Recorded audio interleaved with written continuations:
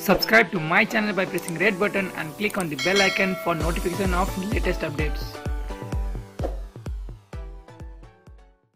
सरकारले असोज दुई तिन र चार गते राष्ट्रिय महोत्सवका रूपमा संविधान दिवस मनाउने निर्णय गरेको छ यो दिवसमा सबैलाई हर्षोल्लासका साथ घर घरमा राष्ट्रिय झण्डा फहराउन पनि सरकारले आह्वान गरेको छ। सञ्चार मन्त्रालयले बाइस हुँदै निर्णय सार्वजनिक गर्दै दूरसञ्चार प्राधिकरणलाई दूरसञ्चार सेवा प्रदायकबाट संविधान दिवस राष्ट्रिय दिवस हर्षोल्लासका साथ मनाऊ घर घरमा राष्ट्रिय झण्डा फहराउँ भन्ने नाराहरू एसएमएस पठाउने व्यवस्था गर्न निर्देशन दिएको छ। त्यसै गरी सरकारले संविधान दिवसका अवसरमा दूरसञ्चार सेवा प्रदायकहरूलाई दूरसञ्चार शुल्कहरूमा विशेष छुट दिने प्याकेज लगायतका अन्य प्याकेज ल्याउन पनि नेपाल दूरसञ्चार प्राधिकरणलाई भनेको छ सरकारका बाइस बुधे निर्णयहरूमा नेपाल दूरसञ्चार प्राधिकरण दूरसञ्चार सेवा प्रदायकबाट संविधान दिवस राष्ट्रिय दिवस हर्षोल्लासका साथ मनाऊ घर घरमा राष्ट्रिय झण्डा फहराउँ भन्ने जस्ता स्लोगनहरू